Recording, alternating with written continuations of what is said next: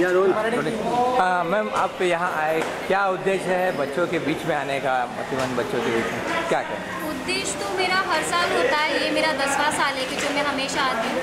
First जनवरी को आती थी बट तीस तारीख को एक आज का दिन मेरे लिए बहुत स्पेशल है इसलिए स्पेशल है क्योंकि मैं जिनको दुनिया में सबसे ज़्यादा लाइक करती हूँ तो मेरे लिए एक गुरु बोलो या मेरे माँ बाप के रिश्ते में हर रिश्ते में वो मेरे लिए बहुत मायने हैं, इसलिए उनका आज बर्थडे मैं यहाँ पे सेलिब्रेट कर रही हूँ।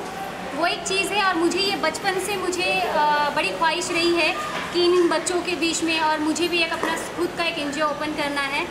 ये इसलिए मैं हर साल यहाँ पे आती हूँ और इनके बीच में आके मेरे को इतनी खुशी महसूस होती है कि जितनी भी जो तकलीफ़ें या जो भी स्ट्रेस होता है काम का, वो मैं पूरी तरीके से भूल जाती हूँ। आई एम सो हैप्पी क्या मैं इधर हूँ इनके बीच में हूँ बस यही है मेरा। आ, हम देख रहे हम देख रहे हैं कि बच्चे खुश हैं आपसे कुछ बातें कर रहे हैं। क्या वे आपके बारे में जानना चाहते हैं? क्या बातें हो रही हैं उनसे? क्या कहें? बातें कुछ नहीं उन लोग की बातें तो बच्चों की क्या होती रहती है? सिर्फ़ हाय हेलो टाई उदय या मतलब कल आओ। आप ही अच्छे से मतलब ये जो उनको गिफ्ट्स मिले हैं ये भी चलो ठीक है नॉर्मल है।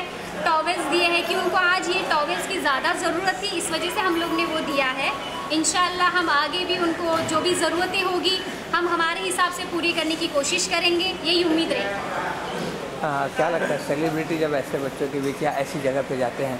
क्या मैसेज आता है क्या संदेश जाता है लोगों के बीच क्या सेलिब्रिटी तो नहीं बोल सकते। सेलिब्रिटी तो हमारे इंडस्ट्री में काफ़ी सारी है कि बहुत सारे ऐसे एनजीओ में जाते हैं। उनको एक ख्वाहिश होती है कि हम जिस काम में, जो फ़ील्ड में है तो हम भी कुछ वक्त बिता के लोगों के बीच में जाए, बच्चों के बीच में जाए, उनके साथ में वक्त बिताए, क्योंकि उनको भी इतनी खुशी होती है वो। और वो चीज़ें बहुत अच्छी है, हमारे लिए भी अच्छी है, और हम उन लोगों के साथ में जाते हैं, वो खुशी हमारी दुगनी हो जाती है। सेलिब्रिटी पार्ट अलग है, और इनके साथ में इंजॉय करना वो पार्ट अलग है। Thank you thank you so much